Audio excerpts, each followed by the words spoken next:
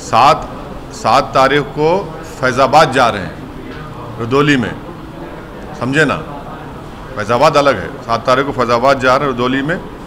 असदुद्दीन ओवैसी जिस फैजाबाद की बात कर रहे हैं, उस फैजाबाद का नाम अब अयोध्या है।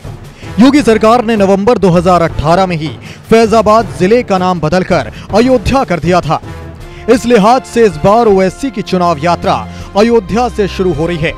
लेकिन ओवैसी अयोध्या का नाम लेने से बचते नज़र आए। सात सात तारीख को फैज़ाबाद जा रहे हैं, रदौली में। समझे ना?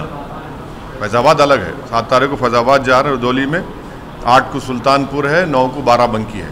तो अभी तो शुरुआत है, बहुत जगह जाएँगे यूपी में। बुरी बात क्या है? चुनाव आ रहा है।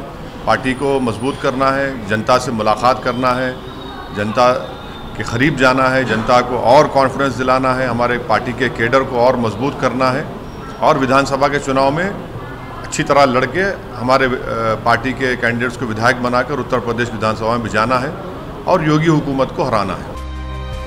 ओवैसी कह रहे हैं, योगी की हुकूमत को हटाने का ऐलान कर चुके ओवैसी ये भूल गए कि वो जिस फैजाबाद की बात कर रहे हैं, वो बीते वर्षों की बात हो गई है। यूपी विधानसभा चुनाव का वक्त जैसे जैसे नज़दीक आ रहा है, वैसे ही सूबे में सियासत की सरगर्मियाँ तेज हो रही हैं। इस बार 7 सितंबर को वो अपने तीन दिवसीय यूपी दौरे की शुरुआत यहीं से करेंगे। ओएसी रुदौली कस्बे में उस वंचित शोषित सम्मेलन को संबोधित करेंगे।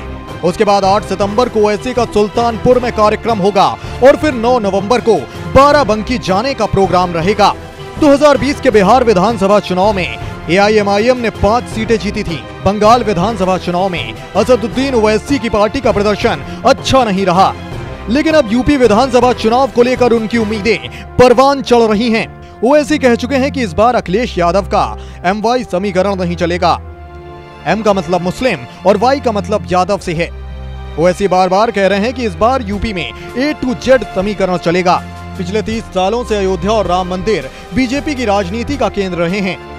योगी आदित्यनाथ अक्सर रामलला के दर्शन के लिए जाते रहते हैं। वहीं इस बार तो बीएसपी महासचिव सतीश चंद्र मिश्र भी ब्राह्मण सम्मेलन शुरू करने से पहले अयोध्या पहुँच गए। ऐसा लगता है कि इस बार सभी राजनीतिक पार्टियों की चुनावी वैतरणी भगवान राम ही पार लगाएँगे।